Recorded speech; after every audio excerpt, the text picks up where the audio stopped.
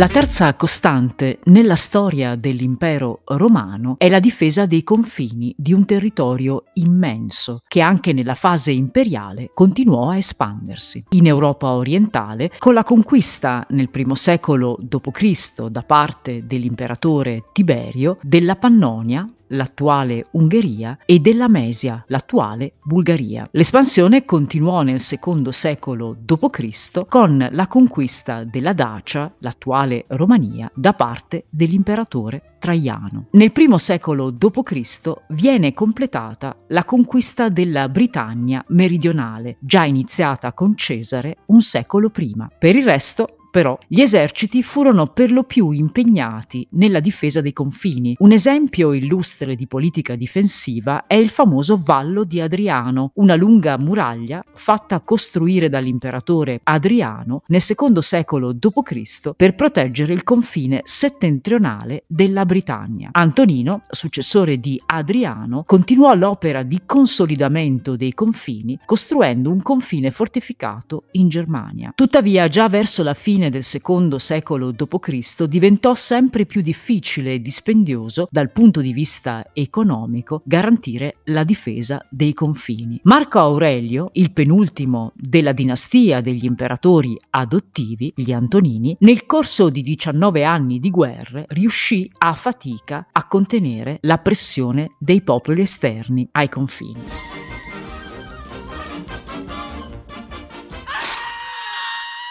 And that's all, folks.